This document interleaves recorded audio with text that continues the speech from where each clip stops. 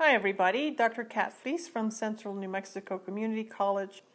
We're moving on into the brain here and we're finally discussing the white matter. So most of the area of the cerebrum that sits deep to the cerebral cortex is made up of white matter and we refer to it just as cerebral white matter. Don't forget that white matter has that color because it's rich in myelin because of the myelinated fibers, the myelinated axons in these, this nervous tissue. Now we can identify axons or fibers, as we tend to refer to them here, that run in certain directions and are present in certain locations in the brain or even in the spinal cord. So we use the term association fibers when we're talking about fibers or axon that travel from one area to another area within one and the same hemisphere. So let's say we're looking at just the left cerebral hemisphere, we would then refer to fibers that stay within that hemisphere as association fibers.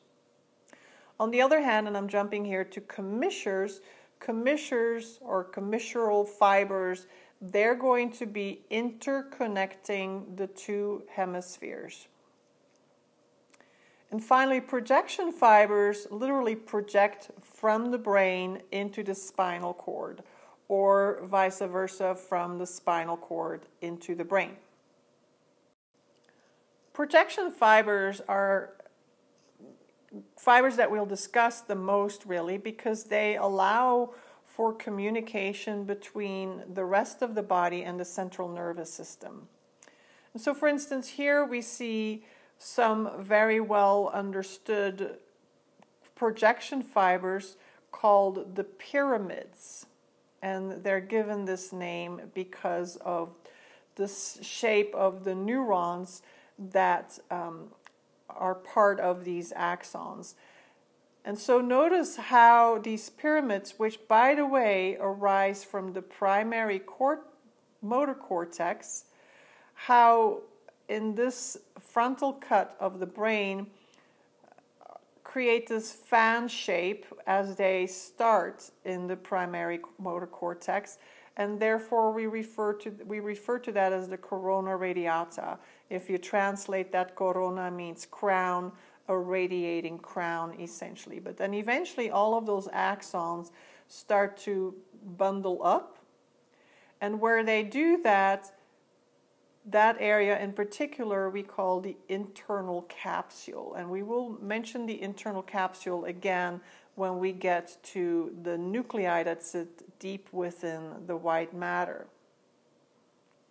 And so these pyramids start as interneurons and eventually they're going to synapse with somatic motor neurons which carry the action potentials to our skeletal muscles. So these pyramids are literally going to be neural pathways that carry neural signals out of the brain down into the spinal cord, right? And then via somatic motor neurons, the action potentials can leave our central nervous system. So, because of their direction, we would also say that they are descending pathways. They descend or they leave the brain. There are going to be pathways, of course, that go into the brain, and they would be called ascending.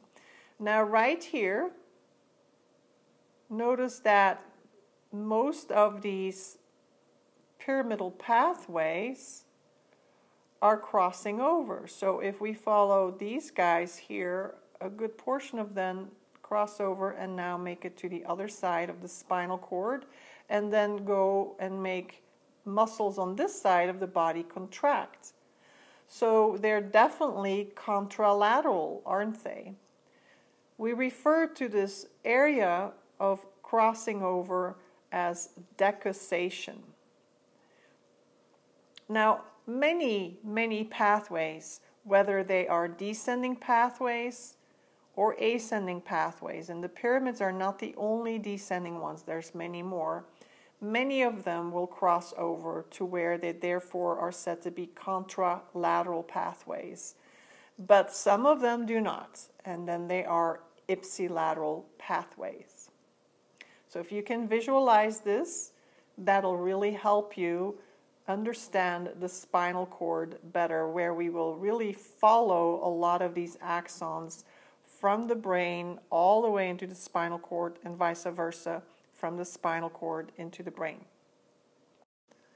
Now, there are two major parts of white matter that play a role in interconnecting the left and the right hemispheres, so they are considered commissures. And one of those you might have heard of, it's called the corpus callosum. So the corpus callosum is this big C-shaped structure right here. It's full of myelinated fibers that travel from the left to the right hemisphere and vice versa. Slightly inferior to it, we have what is referred to as the fornix, also a commissure, and very involved in um, passing on information about olfaction. Now, since we have this picture, notice that right here, I'll use blue here, we have a term that says septum pellucidum. I will spell it out for you. Septum pellucidum. And that is a little membrane that separates two ventricles. So if I, let's fill this in right here, the septum pellucidum right here. If I were to poke this membrane that is now colored blue, my pin on the other side would end up in a ventricle that is filled with cerebrospinal fluid. And of course, on this side of the slide that you're looking at, you would have another ventricle also filled with cerebrospinal fluid. And you can see there's even a third ventricle here. And eventually we'll see there's a fourth one there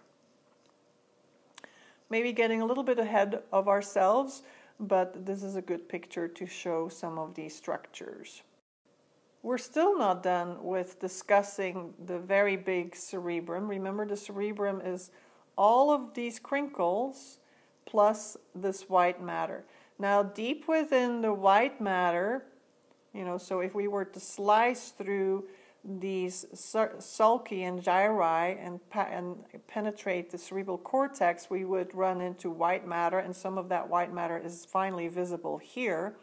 But deep in the white matter, we have nuclei, and let's discuss those as our third subpart of our cerebrum in the next video.